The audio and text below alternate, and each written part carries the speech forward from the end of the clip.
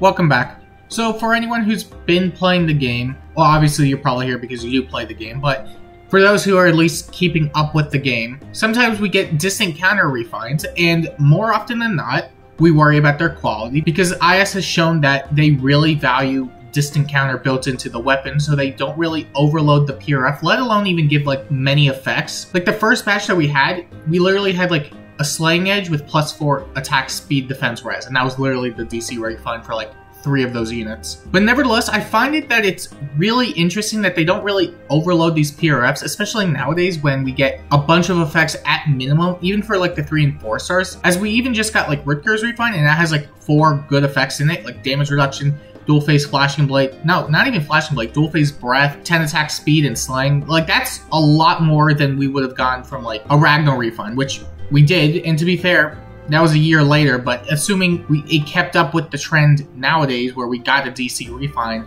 it probably wouldn't have been nearly as close to the quality of Rutger's refine. But nevertheless, I find that IS does value distant counter to a great extent, built into the weapon at least, which is why not only were they so hesitant to give out tier 4 distant counter skills for so long, but when we got these refines, they were just really lacking in substance. Outside of maybe Ryoma, who has no follow-up built into their weapon, so they kind of cheat there, but for the most part, most of the distant counter weapons that we got refines for really didn't have anything going for them as far as I remember. Like, you could point out maybe some exceptions, but outside of like maybe Caineghis, who was just recent, and the Beast, we didn't really get much. But even so, I do want to talk about how they could potentially make distant counter weapons more appealing, especially if they want to limit the amount of effects that these weapons get, as if they're going to limit it, either they need to come out with like one or two effects that they put onto the weapon that's, you know, one stat boost and then one really good effect, or they need to make better A slots, in my opinion. And that's what I want to talk about for this video.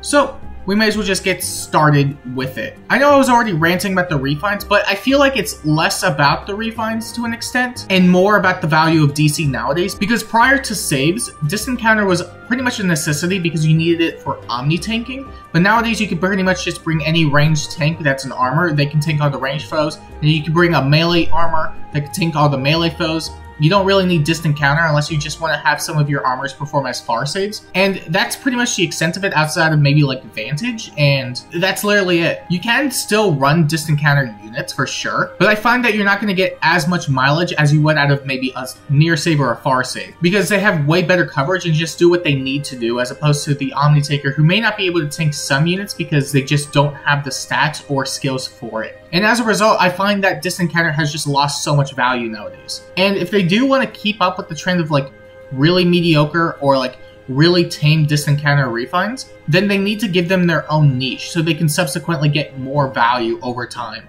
Because we are getting Brave Dimitri's refine. Supposedly, we are getting Brave Dimitri's refine next month if the schedule lines up. And I am kind of worried about how it's going to get treated, mainly because the past has shown that they really go tame with these refines. And again, we did get Caineghis, who got a really, really good distant counter weapon, but I don't know if that was necessarily because he's a beast, or because he's an armor, or because it's conditional distant counter, or whatever the case may be. It's definitely that outlier case that I feel definitely needs more evaluation, and we're going to pretty much get that next month when they give out the next distant counter Again, supposedly. However, if they do really, really want to keep it tame, I do think they need to come out with better A slots. However, not just better A slots. I don't want to see like A slots that are like, oh, if you have a Yen'fay, you built up a Yen'fay, and Rutger just got this refund. I know I keep going back to Rutger, but he's like the recent example of like really good sword refine. I don't want to see something like dual phase flashing breath on an A slot for Yen'fay as well as like 10 attack speed. I want to see something that allows them to stand out with more unique effects that can't be replicated without giving up the A slot. So rather than trying to mimic refines,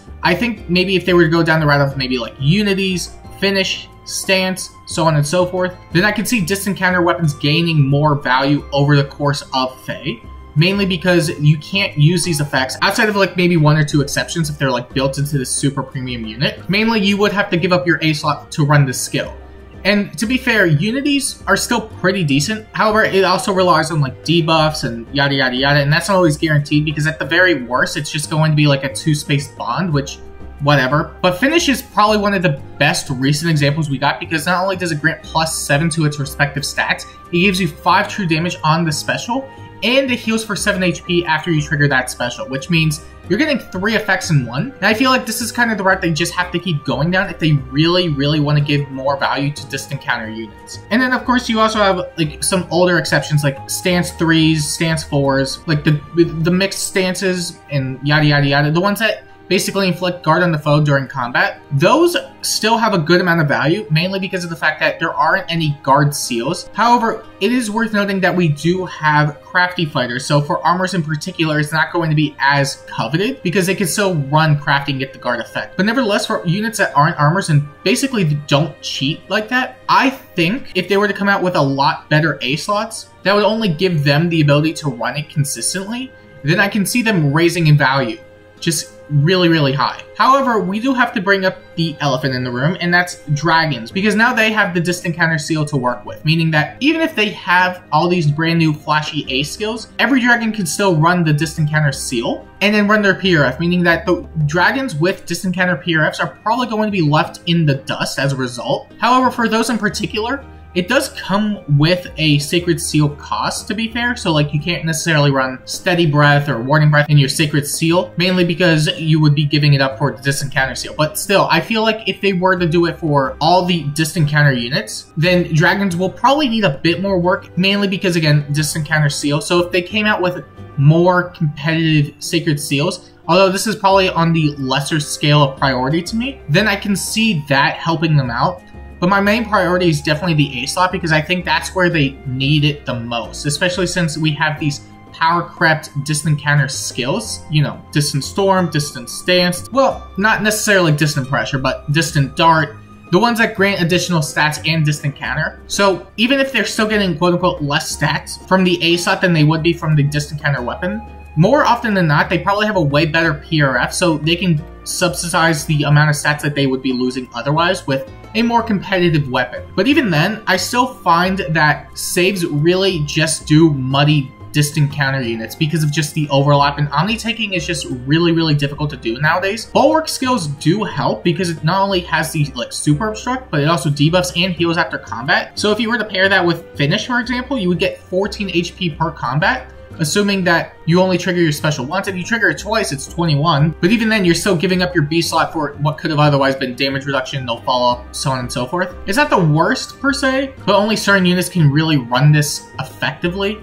So like Winter Altina is like one of the best examples for this because even though she still has a distant counter weapon, she has dual phase brave, meaning that she could still attack twice no matter what. And she does have really good mixed bulk and twin blade, so her damage output and tanking prowess is pretty good especially nowadays, even though she came back in 2020, she's still a really, really good unit. Even that aside, I still think that we could get better DC refines instead of just over glorified slaying edges. And I know I said earlier it's that it is less about the refine and more about the value of distant counter nowadays. However, I do think they go hand in hand because modern PRFs that don't have distant counter in their weapon tend to have like four or five effects in their weapon. And if you have a distant counter weapon, it mainly has like one or two, depending. One of those usually being like distant counter itself. So I do think that if they are going to improve A slots, they should at least also improve the quality of distant counter refines because it generally feels like they're always playing catch up to their contemporaries who could just run distant counter in the A slot or even dragons in the S slot. Granted, some of these units do cheat, like Black Knight does cheat because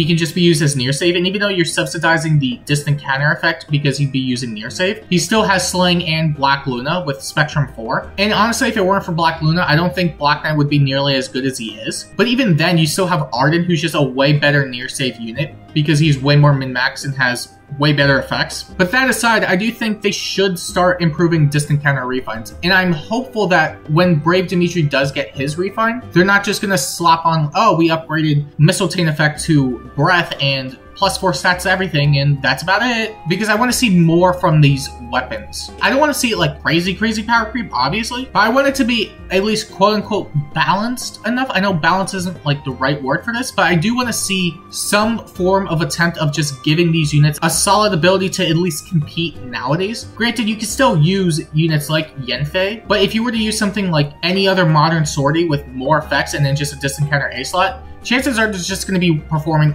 way, way better. And that's just kind of my problem with it. Even modern releases with distant counter weapons like Priam just get shafted like crazy because his weapon is literally just like distant counter with like minus six attack and defense. So he, it's like, wow, what what a, what a Gen 6 refine. So you know what?